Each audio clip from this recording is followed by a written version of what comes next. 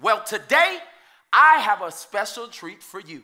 All the way from Dallas, Texas, the man who has written this book has changed my life, changed the trajectory of our church. Pastor Robert Morris is going to bring the word today. And listen to me.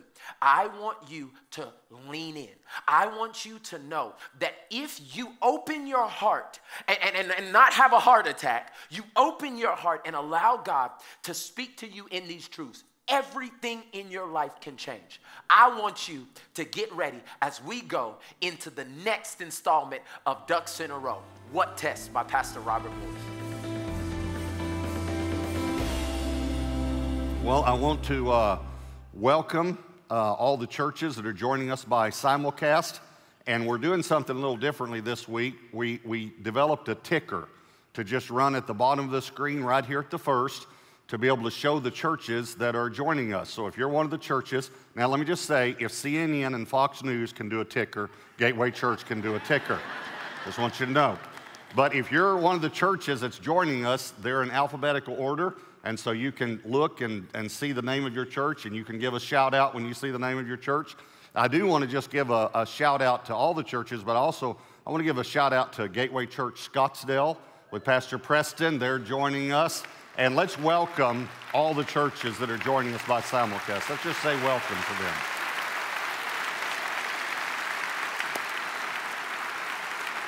So we do, do we do welcome you. That'll run just a little bit longer till we get to the end of the churches, so you guys can keep looking at that if you're uh, at another church and want to see the name of your church.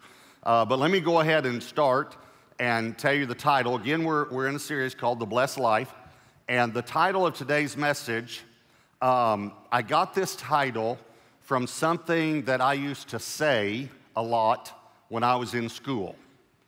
The title of this message is What Test?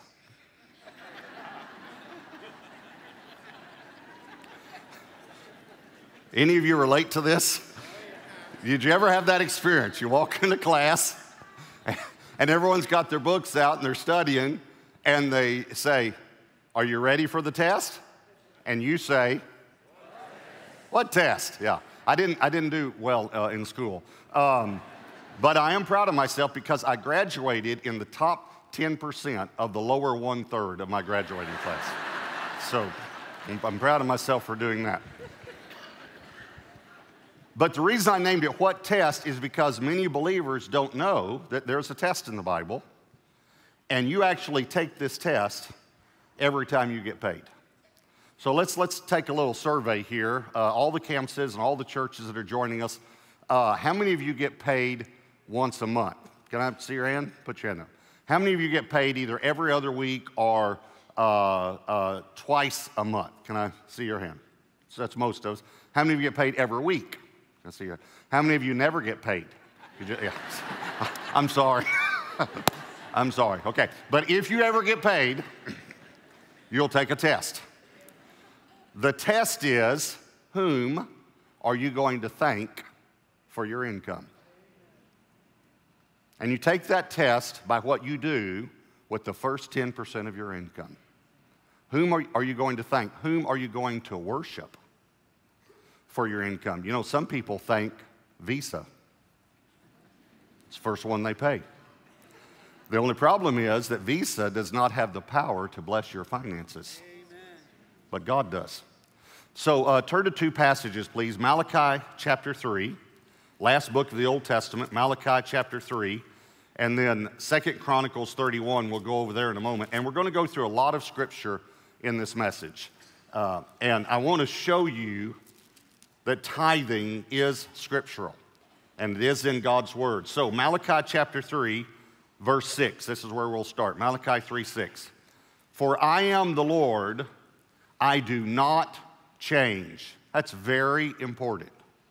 I don't change. I do not change. Therefore, you are not consumed, O sons of Jacob. Now, I think that's humorous. He says, I don't change. That's why I haven't killed you yet, uh, personally. That's what I think he's saying there. I was nice and I'm still nice, all right? Verse 7 Yet from the days of your fathers you have gone away from my ordinances. Now we're going to come back to that word ordinance. What does it mean? And have not kept them. Return to me, and I will return to you, says the Lord of hosts. But you said, In what way shall we return? Now, before we read verse 8, let me just remind you this is God talking. This is God, the God who does not change. This is the God who does not change talking.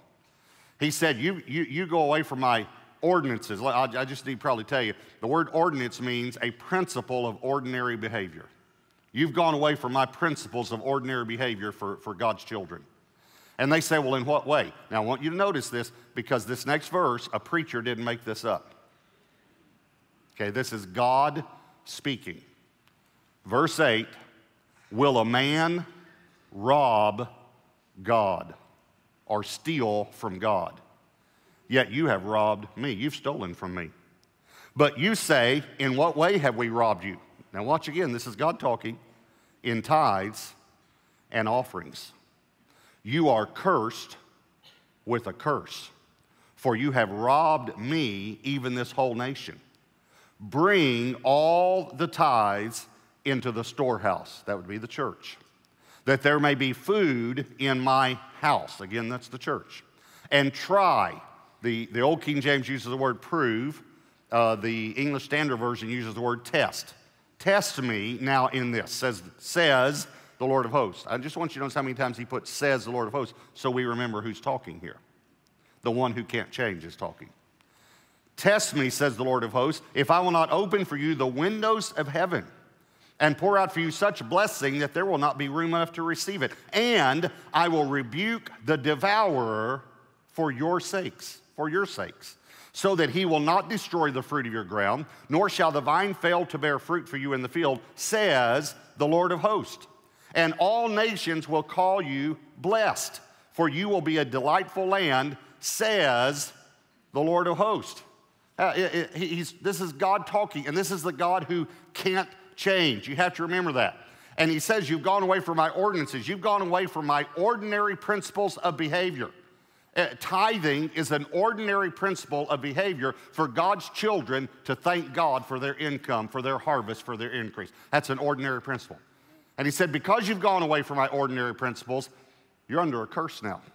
And you need to understand so many times we say, well, Christians can't be under a curse because Christ bore the curse of the law on the cross. He did. That is in regards to our salvation. But are you saying then that you can live any way you want and, and it doesn't affect you? Is that what you're saying? Because that's, that's just crazy to think that way. See, see uh, the, if, we, if we steal, there are consequences. A curse is a consequence. If you steal, there's a consequence. What if you steal from God? And, and so many people say, well, yeah, but the, the, the Lord owns it all. Yes, but He actually gives us stewardship over it, but He reserves 10% for Himself. That's why He says you've stolen, because He says, I have set apart the tithe for the house of God. So if you keep it, you're stealing it. And this word is also used in Joshua 6 and 7 when they took the tithe they were supposed to bring. He said, Israel has stolen. Stolen. And again, please, please hear me. I, I didn't make these words up. Th- these are strong words. God says, You've stolen from me. You've robbed me. And because of that, you're under a curse. And I don't want you under a curse. I don't want you living under a curse. But you're voluntarily placing yourself under a curse because you're going away from my ordinary principles of behavior. Now, um, I had a conversation with the Lord one time about this passage because this is probably the most famous passage on tithing, although there are many passages on tithing, I'll show you some of them today. But this is probably the most famous one. And so I had a conversation with the Lord one time, and I said, Lord, uh, uh, the number one reason that I hear that people don't tithe is they say, well, that's in the Old Testament. That's in the Old Testament. And so I said to the Lord, um, you know, Lord, you put this in Malachi 3, and then there's Malachi 4, and then Matthew 1. Couldn't you have just waited? I mean, just a little while? I mean, that, you know, these verses only miss the New Testament by like 15 verses. I mean, couldn't you just waited just a little while and put it, you know what the Lord said? To him, I just felt in my spirit, He said, I put it right where I wanted it. And the reason is here's point number one because tithing is a test. Tithing is a test. See, God is testing our hearts. Even when a person argues about tithing, I think to myself, what is the spirit behind this? Why would this person argue when God gave his son for you and you won't even give him 10%? Why would you argue about this? It's amazing to me. I'm telling you, it's a test of your heart. It's a test. Now, uh, I, here's why I believe uh, he chose 10%. By the way, the word tithe uh, is a Hebrew word. Uh, ma'aser is the Hebrew word, and it means tenth part or 10%. Tenth part. Tenth. Okay, so that's where we, we get this from that we know it's 10%. Okay, here's why I think he chose 10%. First of all, I think he chose a percentage because it's fair to everyone. It doesn't matter if you make 30,000 or 300,000, it's a penny on every dime. It's the same for every person. Uh, but here's the reason I think he chose 10 because for some reason, many times when you see the number 10 in the Bible, it represents testing. You'll actually see the word test with it. Uh, for instance, let me, let's, let's take a little test, all right? I'm gonna ask, ask you a question, and I want you to answer me uh, out loud. Uh, all the campuses, all the churches, just say your answer out loud, all right? Here's the first question How many plagues were there in Egypt? 10, right? Now, I could have said it a different way. I could have said, How many times did God test Pharaoh's heart? Because that's what he did, but we're familiar with how many plagues there were. All right, here's the second question How many commandments are there? 10, okay? Um, now, I'm gonna ask another question, and you might not know this, but there's a, a pattern here, okay? And this is in Numbers 14 where God actually says this. You can read it later, all right? But, and then I want you to say your answer just a little louder, okay? Uh, how many times did God test Israel in the wilderness? That's correct. All right. How many times, again, you might not know this, but okay. How many times were Jacob's wages changed? Ten. God was testing his heart. How many days was Daniel tested? How many virgins were tested in Matthew 25? How many days of testing are mentioned in Revelation? How many disciples were there? No, there were 12. I was just testing you. I was just, just, I was just testing you. So tithing is a test. And but here's something that you might not know, it's a two-way test. God not only tests you, but this is the only place in scripture that I've found where God says, you can test me. Test me. This word try, that is sometimes translated test or prove, uh, it comes from uh, the way you test a metal, the way you test gold to see if it's pure. You know what God is saying? Test me to see if I'm pure. Test me. I want you to. I want you to see because I want to open the windows of heaven. I want to bless you. I want to rebuke the devourer for you, but it depends on whether you're going to thank me and worship me and walk in faith and whether you're going to believe that 90% with God's blessing will go farther than 100% without. And you open an area of faith when we do this. Again, I hear people say things like, you know, is that Old Testament? Or someone will say, well, you know, that's under the law. Tithing was under the law. Well, first of all, I'll show you some scripture that tithing was way before the law, hundreds of years before the law, and after the law, and in the New Testament. So I'll show you those scriptures, all right? But uh, I don't understand that argument. Well, it was under the law, and I, am under grace now. Now, I'm not saying we do it because obviously we're saved by grace, but there are principles that were under the law that we should still walk in as believers. Thou shalt not commit adultery was under the law.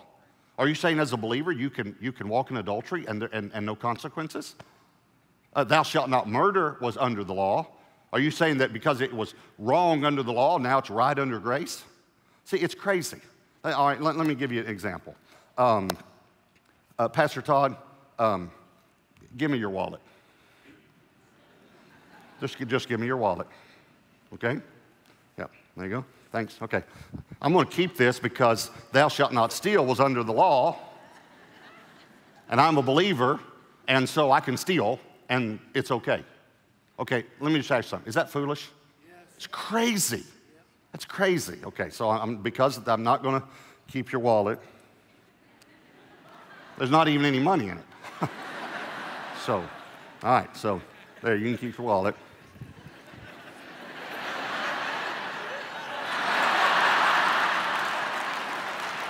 What'd you do? What'd you do? What did you do? Why is everyone, why is everyone laughing? You took your money out? I tell you before the service, I'm gonna do this illustration, and you take your money out?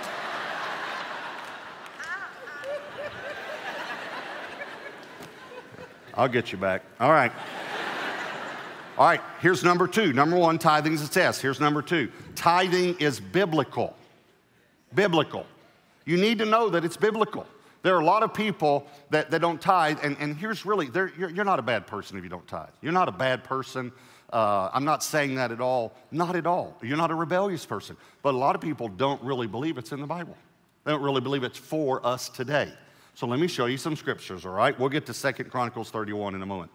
Genesis 14, verses 18 through 20. Then Melchizedek, king of Salem, Salem means peace, brought out bread and wine. There's a representation of, of communion, even in the Old Testament. He was the priest of God Most High. And he blessed him, now that's talking about Abram, Abraham, Abram, and said, Blessed be Abram of God Most High, possessor of heaven and earth, and blessed be God Most High, who has delivered your enemies into your hand. Now watch this. And he, that's Abram, Abraham, gave him, that's Melchizedek, a tithe of all. You, you need to know, if you don't know this theologically, this is about 500 years before the law. And Galatians says Abraham's our spiritual father. And Melchizedek, Hebrews says, is a type of Christ, and many theologians believe it's actually Jesus Christ because it says he has no gene- genealogy. That's what Hebrews says no mother, no father, no, no beginning of days, no end of life.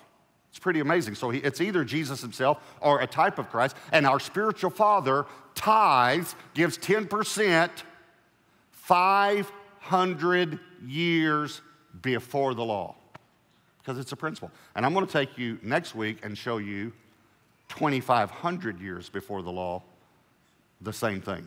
I'll show it to you next week, all right? Look, look at Genesis 28, verse 22. This is talking about Jacob.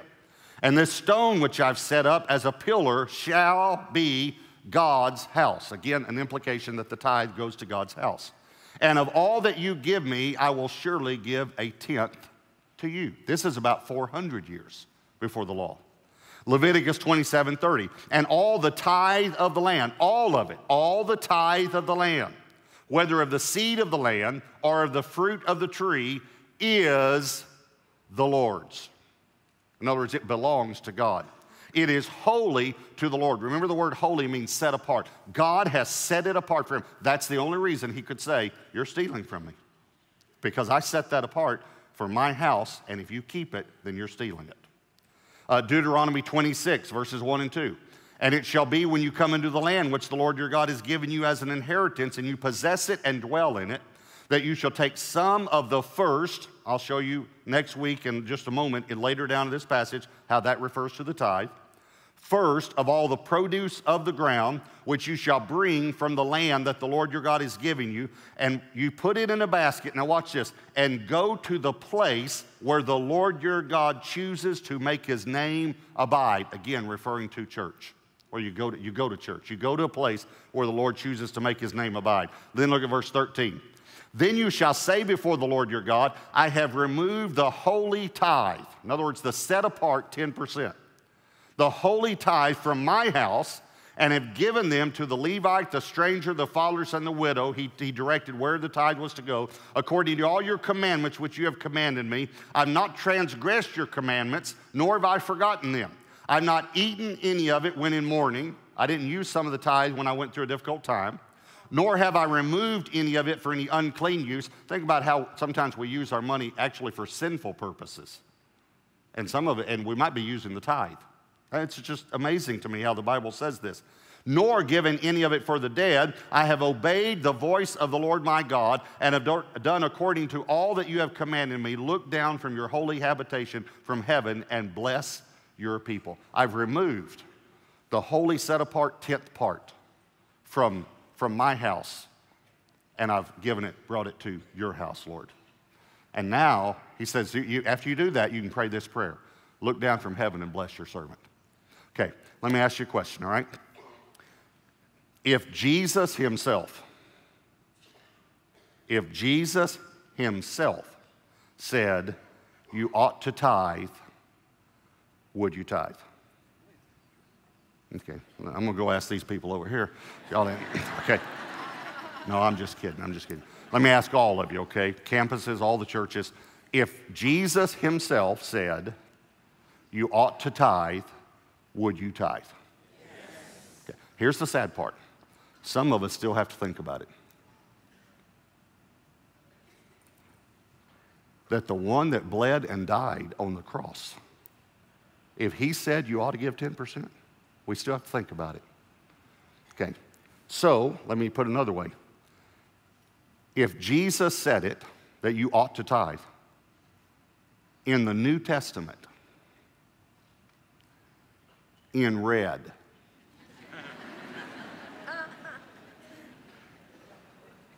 would you do it?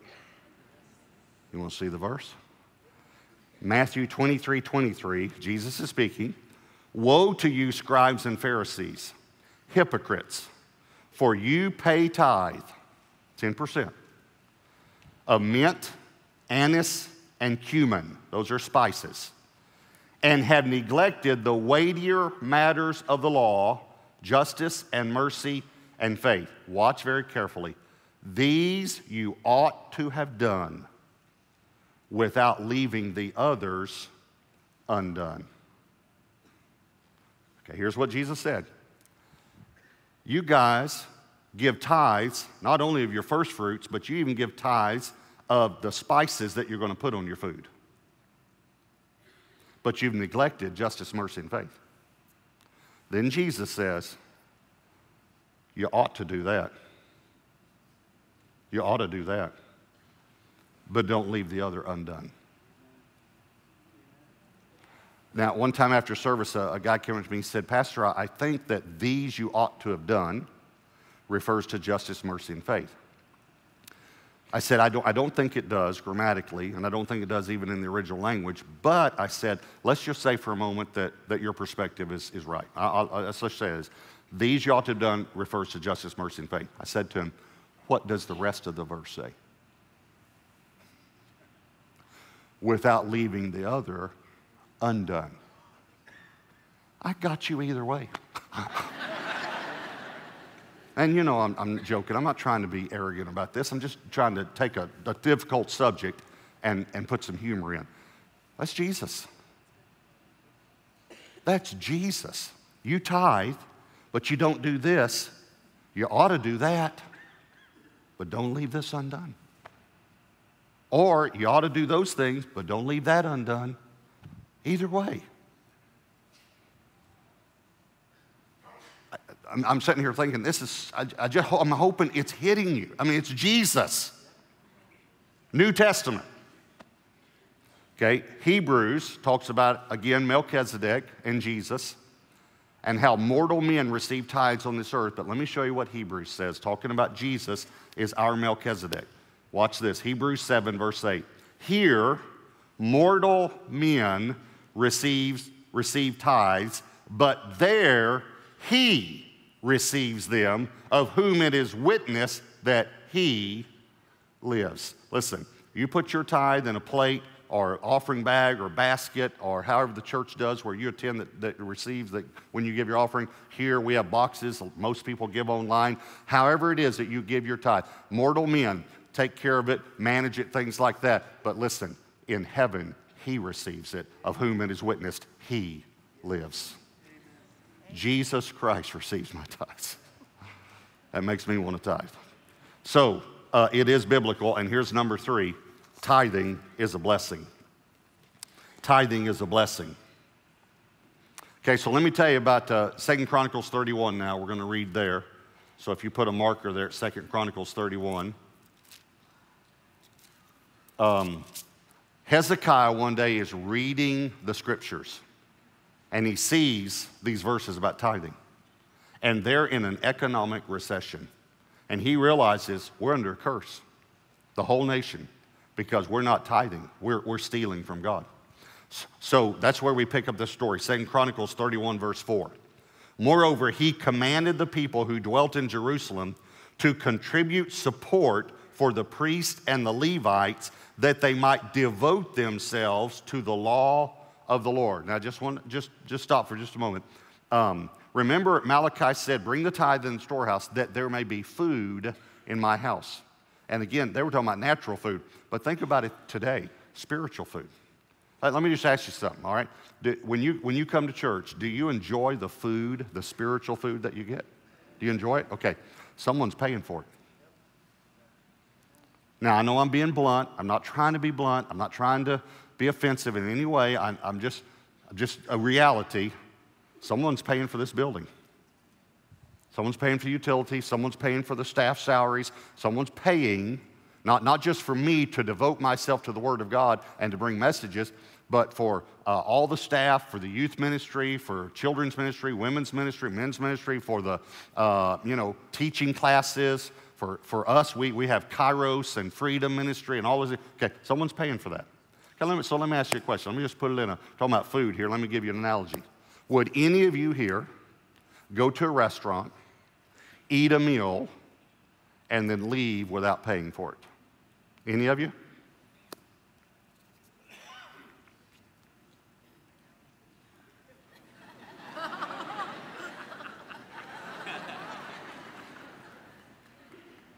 Some Christians do that every week. They go to church, eat a meal, and skip out on the check.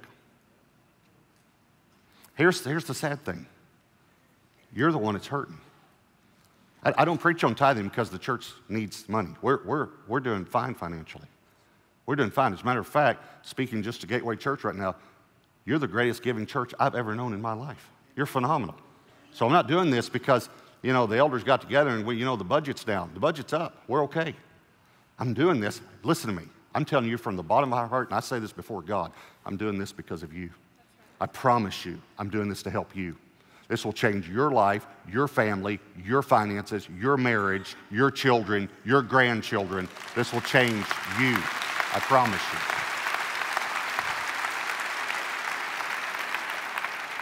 All right, so he puts out, he says, everyone needs to bring the tithe to the house of God. Now, look at verse 5. As soon as the commandment was circulated, the children of Israel brought in abundance the first fruits. Again, I'll show you next week how that relates to the tithe of grain and wine, oil and honey, and of all the produce of the field, and they brought in abundantly the tithe of everything. There it is right there, showing you it's the tithe. And the children of Israel and Judah who dwelt in the cities of Judah brought the tithe of oxen and sheep.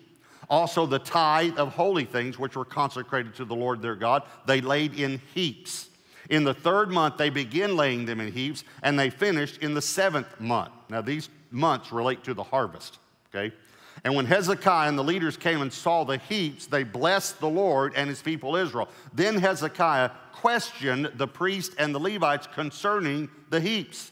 And Azariah, the chief priest from the house of Zadok, answered him and said, Since the people began to bring the offerings into the house of the Lord, again, the tithe always comes, goes to the house of God, we have had enough to eat and have plenty left, for the Lord has blessed his people. And what is left is this great abundance. Okay, here's what happens.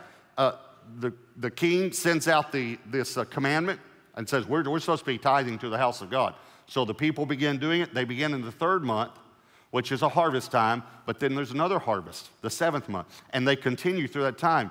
And, and so when the king comes to visit and he sees these heaps, heaps that the people brought to the house of God, here, here's what in essence he says. It says he questioned them about the heaps. Here's what he's saying Are the people okay? Are they okay? I mean, look, look how much they've given. Or do they have enough left? And the priest said, Oh, king as soon as the people started to do it God's way, God so blessed them. What you're seeing here is just the 10%. If you think there are heaps here, go look at the 90%. Go look at how God blessed his people when they begin obeying his word. Uh, I've been in ministry now for over 30 years. I've heard two testimonies for that time about tithing consistent testimonies. You know, scripture says in the mouth of two or three witnesses. Okay, here are the two testimonies people have said to me. Tithers consistently have said to me, We are so blessed. Boy, it all changed when we began tithing. We are so blessed, Pastor Robert. We are so blessed. That's what tithers have said. Here's what non tithers have said I can't afford to tithe. That's their testimony. I can't afford to tithe. And, and again, not mean, not rebellious people, just I can't afford to tithe. Listen to me. You will never be able to afford to tithe until you tithe. Because tithing is what breaks the curse and rebukes the devourer. As soon as you start to get ahead, something else will break. Because the devourer. But tithing is what rebukes him. Okay, um, let me give you one more illustration. Um, Jason and Steve and Todd, will, will, you guys stand up? And if you guys will move down kind of toward Todd there, uh, so that they can, everyone can get a, you can get a shot of them for the other campuses and churches and all. Okay, um, uh, I'm going to give you an illustration. Let's say that I say to these three men, I'm, I'm going to go away for a while. And, um, and I've provided for Debbie, but I want to provide some additional funds for her. But I want to channel or funnel those funds through you three men. So I'm going to send all, each of you $10,000 a month, okay? Jason, don't get that excited. This is just an illustration. Um, okay, so uh, I'm talking to Debbie Everett, and I say it to, to you, but I want you to give Debbie 10% of it, $1,000 a month, and you can keep the 90%. Just give my wife 10%. So I'm talking to Debbie every day and, and letting her know, you know, it's an extended trip, but I'll be back in several months. I have to be gone. And after about three months, I, I think about these other funds, and I say, hey, how are the funds coming in from the, the three guys, you know? And uh, she said, well, uh, Jason sends $1,000 a month. Just like you said, matter of fact, it arrives like January 1st, February 1st. I mean, he's like clockwork. It's $1,000, so good, good job, okay? Um, I said, well, what about Steve? She said, well, Steve is sending 2000 a month. I said, 2000 a month? I, I didn't ask him for 2000 a month. I just asked him for 1000 a month. I know. I said, well, why is he sending two? I don't know. He just sends $2,000 a month. I said, well, what about Trader? Uh, Todd, sorry. Todd. I said, what, what, what, what, about Todd? She said, well, we, we, need to talk about Todd. I said, well, why? What, what's Todd doing? Well, the first month he sent 700. The second month, 400. And this last month, he didn't send anything. Okay, now I want you to think about this. Think about this. How do you think that makes me feel? And I'm giving him the 10,000. It's coming from me. And I just asked him for 10% for my wife. He can keep the 90%. Okay, what do, you, what do you think I'm going to do? i will tell you what I'm going to do. I'm not going to send him any more money because he's proven to me he can't be trusted. And I'm going to take what I'm giving him and I'm going to give it to Steve and Jason because they've proven they can be trusted. Okay, you, you guys can sit down. Okay, now Think about this. Jesus said, I'm going away for a while. Is that right? I'm going away, but I'm coming back. But while I'm gone, I want you to take care of my wife.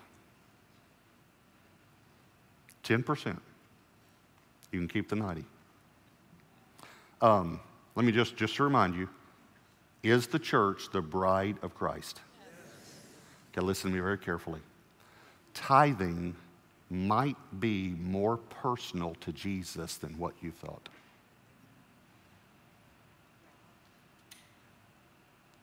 Because it's his wife. He has the power. And if you say, well, I can't believe you just take it away and give it to the others, if you don't think Jesus would do that, read the parable of the talents. When he took from the one that wasn't faithful and gave it to the one who was faithful.